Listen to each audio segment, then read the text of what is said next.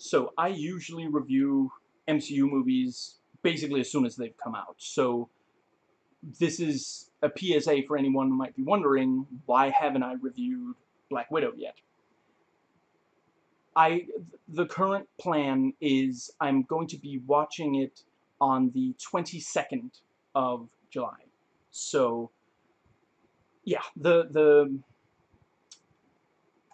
it's a long story, but the short version is I really want to watch it with this friend of mine and he hasn't he he'll be able to watch it on the 22nd and that's why we're watching it on the 22nd. And my review I'll probably record it the same day, but if not, let's see, the 22nd, I, I believe it's Thursday, so that Saturday, if if not that Thursday. So, but yeah, so that's why it's not out yet.